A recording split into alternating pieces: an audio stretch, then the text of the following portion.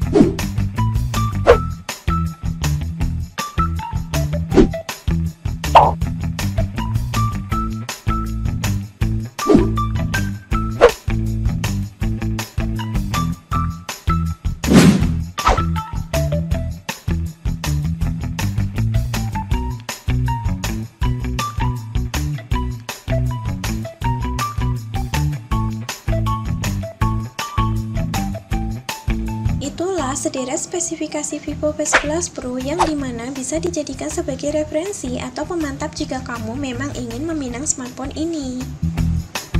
Oke, sekian dulu ya video kita kali ini. Kemudian jangan lupa untuk tekan tombol subscribe dan juga like. Dan sampai jumpa kembali.